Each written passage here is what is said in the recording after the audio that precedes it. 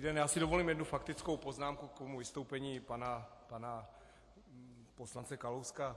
Já si velice, já, vás, já mám ohromný respekt, když pan Kalousek mluví, protože patří k osobnostem tohoto parlamentu a můžeme se na něj dívat negativně i pozitivně, ale patří těm osobnostem.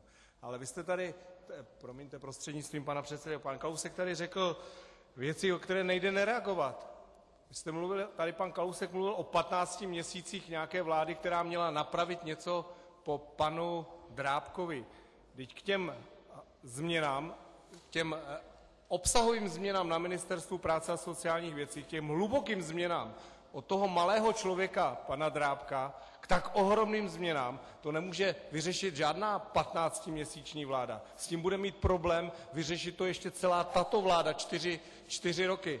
To, co se odehrálo na Ministerstvu práce a sociálních věcí za vlády právě pana, předchozího ministra z TOP 09 a ten dopad, jaký to mělo na veřejnost, na lidi, jak čekali na výplatu sociálních dávek, jak se rozpadl kontrolní systém, jak narostly sociální dávky, které nejsou schopny, není, není schopno Ministerstvo práce a sociálních věcí kontrolovat, obecní úřady, jak se staly bezbraný, to prostě nejde opravit za 15 měsíců. A já budu strašně rád, když se to podaří této vládě za čtyři roky. Čili pan Drábek bude hluboce zapsán v dějinách České republiky a v dějinách MPS, Ministerstva práce a sociálních věcí, jako jeden z nejhorších ministrů.